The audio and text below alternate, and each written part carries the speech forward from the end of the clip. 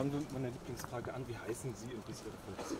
Cornelius Traupe, ich bin äh, Pressesprecher von Landschaftsverbindung hier für die Region Elbe-Weser-Dreieck. Was findet denn heute statt? Wir machen uns heute auf den Weg nach Berlin ähm, zur Demo, die dort angemeldet ist, morgen am Montag am Brandenburger Tor. Ähm, es geht einmal um die, diese Rückvergütung und um die Kfz-Steuer, die jetzt für landwirtschaftliche Fahrzeuge auch erhoben werden soll. Das ist ein massiver Einschnitt äh, für die deutsche Landwirtschaft und ein sehr, sehr großer Wettbewerbsnachteil für uns im EU-Raum. Und deswegen müssen wir uns da mal eben noch Luft machen, bevor die Sache beschlossen ist. Ähm, können Sie mir noch mal ein bisschen mehr zu Berlin erzählen? Wer, wer trifft sich dort? Wer kommt dort zusammen? Wie viele Menschen werden erwartet? Also morgen in Berlin äh, sind angemeldet mittlerweile über 1000 Traktoren und äh, zig hunderte Reisebusse aus dem ganzen Bundesgebiet. Äh, der Deutsche Bauernverband hat zu dieser Demo aufgerufen. Ähm, ja, genau, und der werden wir teilhaben wollen. Wer trifft sich jetzt aktuell hier? Also hier sind wir jetzt aktuell mit knapp 40 Traktoren aus der Region rund um Bremen. Ich sage mal einfach circa geschlagen, circa 30 Kilometer.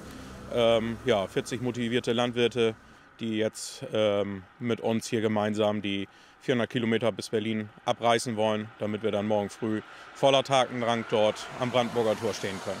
Schreiben Sie mal ein bisschen was zur Reise mit dem Traktor nach Berlin. Das ist ja schon eine ganz schöne Strecke. Also mit dem Traktor nach Berlin ist tatsächlich ja für viele von uns schon äh, Routine geworden. Es ist ja oft der Hauptkundgebungsort für, für große Demos, die auch was bewegen sollen. Ähm, wir fahren jetzt hier, wie gesagt, in Ottersberg los. Unsere Reise wird dann über Lauenburg führen. Also in Lauenburg fahren wir über die Elbe, dann die B5 runter. Unterwegs schließen sich noch circa fünf bis zehn Traktoren an. Wir sind per WhatsApp alle vernetzt und ähm, ja, fahren dann quasi gemeinschaftlich dorthin. Unterwegs sieht man oft, dass die Bevölkerung zu großen Teilen auch hinter uns steht. Wir haben alle Banner vorne dran, die eine Botschaft überbringen und äh, damit auch alle wissen, was unser Ziel und unsere Mission ist. Also man kann so ein bisschen das Land auch mitnehmen und hoffentlich haben wir dann auch viele Leute, die uns verstehen und unsere Sorgen und Nöte und auch Ängste vor allem so ein bisschen nachvollziehen können. Man könnte hier auch mit dem Reisebus fahren. Warum ist das auch so wichtig, mit dem Traktor dort aufzuschlagen? Genau, also mit dem Reisebus fahren ja tatsächlich auch viele, aber wir fahren mit dem Traktor, weil es natürlich auch ein Zeichen ist. Äh, mit dem Traktor wirst du gesehen, die Leute wissen, es sind die Landwirte, das ist eben auch unser Markenzeichen, sage ich mal ganz salopp. Ähm, also für uns ist es eben wichtig, dass wir jetzt über die, die ganze Fläche, wo wir unterwegs sind, eben eine Botschaft überbringen. Und wenn wir mit dem Reisebus fahren, ist das auch gut für die Leute, die abends wieder zu Hause sein müssen und für die, die den Betrieb auch zwei Tage verlassen können. Die sollen natürlich auch übers Land verstreut eine Botschaft überbringen. Wogegen wird konkret demonstriert? Es wird gegen nichts, es wird nicht gegen irgendwas demonstriert, sondern es wird für was demonstriert. Und zwar einmal sind wir dafür, dass äh, die, diese Rückvergütung für uns erhalten bleibt und eben auch die Kfz-Steuererlassung, die wir haben. Ähm, das ist uns eben ganz wichtig. Äh, Im EU-Raum gibt es Länder, die zahlen gar keine Steuern auf den Diesel, also die, die Landwirte.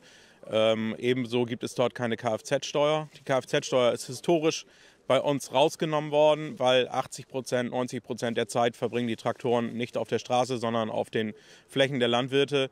Und äh, deswegen wurde das mal gestrichen, weil man eben gesagt hat, okay, die nutzen die Straßen gar nicht so viel.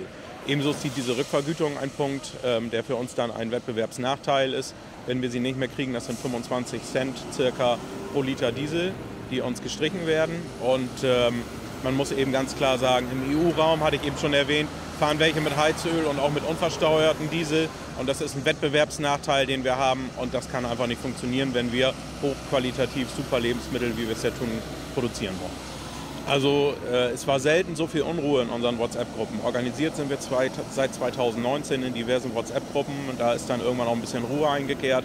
Und man merkte, es wurde plötzlich ein Pulverfass aufgemacht. Ähm, es war Unruhe, die Verbände haben aufgerufen, übergreifend, egal ob es der LSV war, der Deutsche Bauernverband oder auch von Landjugend und, und, und. Also alle, die der Landwirtschaft nahestehen oder Berufsvertretungen sind, haben massiv getrommelt und haben gesagt, das können wir uns jetzt nicht mehr gefallen lassen. Wir Landwirte sollen von diesem Sparpaket, ähm, also wir sind ein Prozent der Bevölkerung und sollen zehn Prozent dieses Sparpaketes tragen. Und das ist einfach ein Übergewicht, was nicht passt.